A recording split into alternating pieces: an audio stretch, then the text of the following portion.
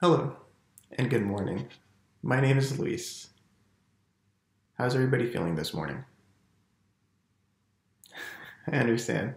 Some of us are still waking up. We might need our coffee and everything else. Understood. I just wanted to tell you that I appreciate you for making this virtual training this morning on WebEx. And today's goals is going to be learning some of the tools and functionalities that are available within WebEx so we can be more strong suited for when we go into virtual virtual trainings in the future. We understand where we're going and how to utilize this new computer software. Sound good? Perfect. Let's get started. First, we're going to talk about some of the feedback tools that are available within WebEx. The first one that I do like to talk about is this little caret going to be right here next to participants. This is going to be our minimize and our maximize icon. What this gives us is the availability to see who the panelist is, if there's multiple hosts that are available within this little panel here. The second one tells us about attendees, how many, and who's within this meeting currently. The benefit of this is these carets just signify that we can either minimize the amount of visibility that we want to see or maximize all the information that we want to. So by clicking on it, we can either minimize all that information so we build up more of that real estate that's available, or we click it to hide everything or expand. Perfect. Next, let's talk about raise hand. This raise hand icon is very beneficial. This allows the presenter to see who's asking questions throughout the meeting. So if at any case you're talking about something and there might be a stopping moment, this is a really good way to showcase to the presenter that there's a question that's coming up within the meeting. All right. Next, we're going to talk about the green check and also the red X. These two icons are very important. So let's say, for example, if the presenter says, what do most people like? We'll use the green check for coffee. We'll use the red X for tea. Everybody who's attending the meeting can choose either the green X for coffee or the red X for tea. The benefit of that is then seeing where does the audience kind of go more towards. This is a really good way of doing things when it comes to project teams or anything else where we could see who agrees, who disagrees, and where can we meet on a middle ground. Very small but useful tool. Lastly, within these feedback tools is the emoticon. Probably one of my favorite features. The big reason for that is just because it allows us to really show emotions within this demonstration. As we could see, this is showing us like a smiley face with sunglasses. I could say that this presentation was awesome. Or we could see the clapping of hands, so it could be an applaud to our peers or even to the person who's presenting that they did a great job. Perfect. Let's go to the next part. Next is going to be using the WebEx chat. What you get with the WebEx chat is chatting between everybody who's within the conversation. So this gives us an opportunity to do a few different things. Currently it's showing choosing all participants within the conversation. So let's say, for example, if you wanted to send a message, we have our subject field right here where this allows us to type our message here. Now, what we saw on our previous slide was this little caret. This allows us to maximize all the information within this presentation.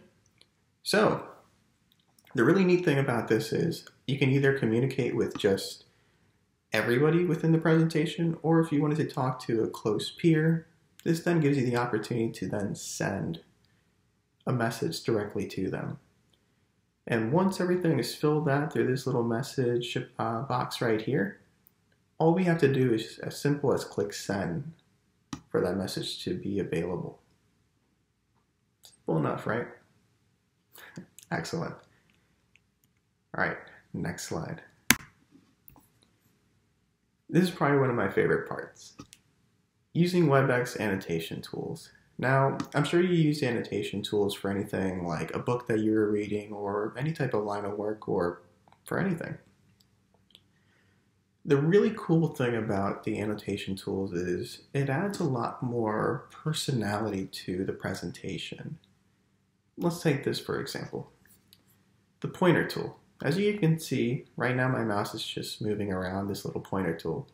This makes it easier for the presenter to follow along, but also the audience as well. To know where we're located right now and what I'm emphasizing as what's important right now. So this pointer tool acts the exact same way as we see a laser pointer within a presentation in person, but sometimes in virtual sessions, we're not necessarily seeing that. So this is a really good way of seeing, hey, my mouse cursor is going under using WebEx annotation tools. Makes sense, right? Okay. Next, text. As we can currently see, this is a really good emphasis on how we're using multiple tools all at once. So, as an example, we're seeing these arrows. These arrows help point out to understand, okay, I'm looking at a few different tools that are available within the annotation toolbar. The text under just helps me then see what are those tools called. So when we look at that, that gives us then the availability of understanding, oh, this is the pointer tool. The T means a text tool. And as we start going through some of the other tools, I can then see like change font is this yellow box, and then eraser because of those text features.